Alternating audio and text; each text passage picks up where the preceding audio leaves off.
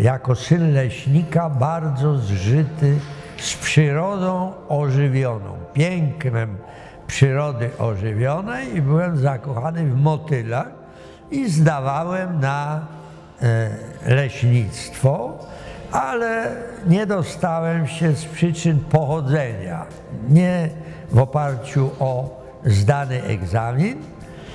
No więc bardzo e, to przeżywałem głęboko. Skończyłem wydział ceramiczny i zaznajomiwszy się z tymi technologiami, szczególnie materiałów budowlanych, zostałem ekspertem Narodów Zjednoczonych. Zacząłem od praktyki w cementowni w 1953 roku. Pracowałem mm, w oddziale tlenku glinu i oczywiście już poznałem instytut, który był w starym budynku administracyjnym cementowni się mieścił na początku. I po zakończeniu studiów, krótkiej asystenturze w AGH, przyszedłem na kierownika zakładu doświadczalnego do Instytutu. Ten zakład się nazywał doświadczalny, ale w zasadzie on prowadził bilanse cieplne e, nowych zakładów przemysłu cementowego oddawanych do ruchu, czy nowych urządzeń, czy one spełniają wymagania zawarte w kontrakcie. No i w związku z tym poznałem na wylot przemysł cementowy, popracowałem w tym zakładzie nieomal 10 lat, a w międzyczasie w instytucie zrobiłem pracę doktorską. Obroniłem doktorat i pan profesor Grzymek, który wtedy został dyrektorem instytutu, powołał mnie na swojego zastępcę. No i wtedy to już była właściwie czysto praca naukowa, kierowanie badaniami naukowymi.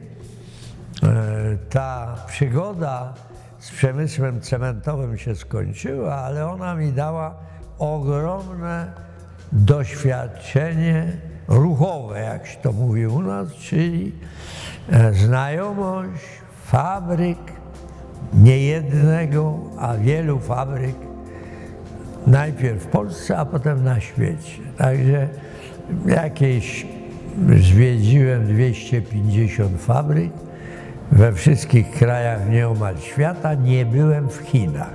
W Indiach byłem, ale w Chinach nie byłem. W Chinach dopiero będę w tym roku na konferencji.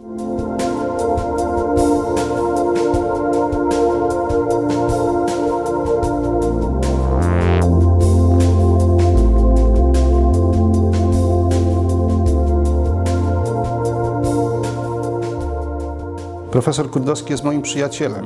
Znamy się od wielu, wielu lat. Wspólnie podróżowaliśmy po Europie, wspólnie tworzyliśmy Stowarzyszenie Producentów Cementu i wspólnie razem przenosiliśmy doświadczenia naszych kolegów z Belgii, z Niemiec, z Francji, aby je wcielać w życie tutaj w Polsce. Profesor Kurdowski był też naszym doradcą w okresie prywatyzacji przemysłu cementowego.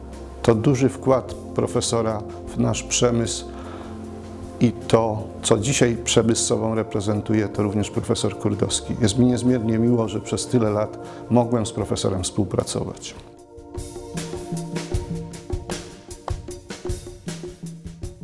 Jeżeli chodzi o kontakty z Politechniką, no to one wiązały się z Instytutem, ponieważ kilku pracowników Instytutu, w tym przede wszystkim pani profesor Grzeszczyk, przeszła z Instytutu do Politechniki.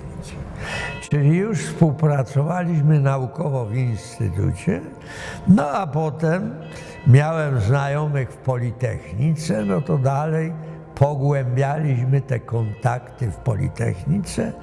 Miałem trochę wykładów w Politechnice na zagadnienia, które ich interesowały.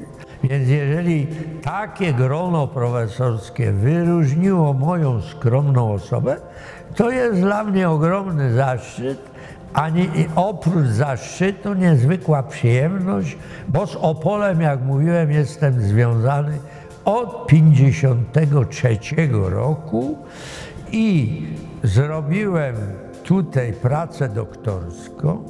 Nauczyłem się przemysłu cementowego, jego technologii i do dzisiaj studenci słuchają wybranych moich wykładów właśnie z zagadnień e, ruchu maszyn, wskaźników cieplno-energetycznych, ponieważ wiedzą, że ja to znam z praktyki. Ja się tego nie uczyłem z książek, tylko nauczyłem się badając te maszyny w zakładach przemysłu cementowego.